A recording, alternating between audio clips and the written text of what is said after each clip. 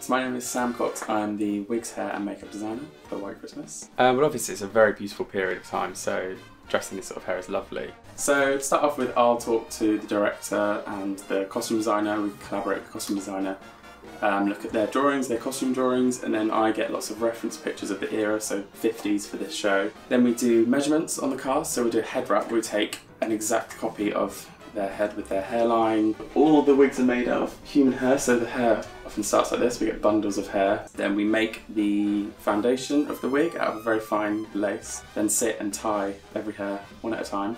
When you've got a large show with lots and lots of wigs, it can be challenging. So you have to find a lot of people to do that. But yeah, it's about two weeks. Seeing the wigs on stage and seeing the cast happy, seeing the director happy, and just seeing everyone happy, and that makes me happy as well.